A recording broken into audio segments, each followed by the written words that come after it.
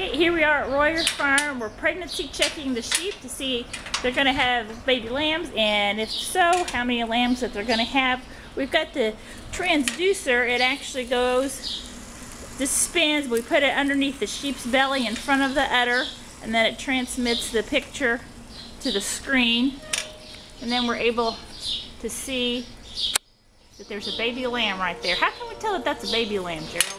Um, well, for starters, you got as soon as you see the the real black part on the screen, that's the fluid around the around the fetuses, the amniotic fluid, and then in the middle, the biggest uh, area there, the circle, that's the trunk, that's the body of the lamb, like a cross section of the body of the lamb, and then around it, there's the cotyledons, the way the blood and the nutrients get to the fetus.